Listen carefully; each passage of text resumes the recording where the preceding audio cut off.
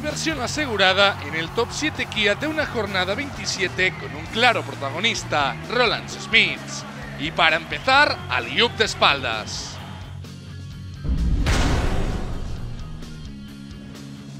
Vuelo tan clásico como imparable de David Jelinek. El checo encamina al aro estudiantil con firmeza y se alza con autoridad para reventar el aro una mano. Volándose entre Sutton y Balvin, Jelinek nos regaló un auténtico matazo.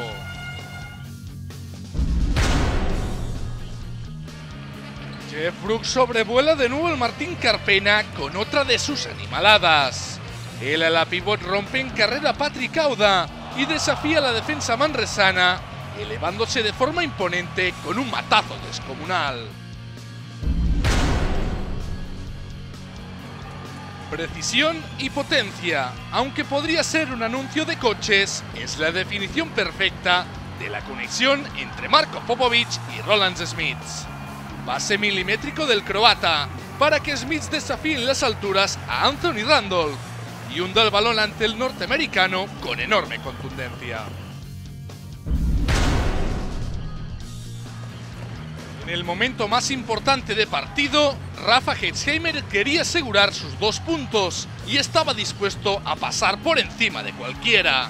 El brasileño lo hizo de forma imparable, desatando toda su rabia. Mate descomunal de Hetzheimer, que se filtra entre Felipe Reyes y Sergio Llull, elevándose de forma salvaje.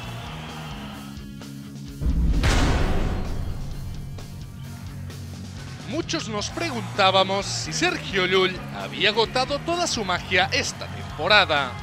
Pero el Balear disipó todas nuestras dudas con su enésima maravilla.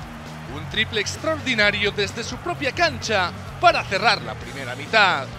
Una parábola tan perfecta que parece incluso hecha con compás. Que no les engañen, Sergio Llull no es de Mahón, es de otro planeta.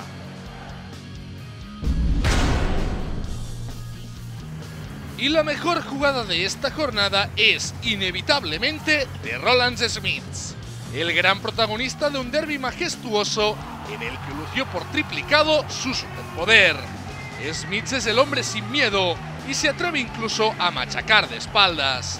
Genialidad sublime del letón, un joven pero experto matador que monopoliza este top 7 Kia. Nuevo Kia Niro. Llegan nuevas energías para el baloncesto.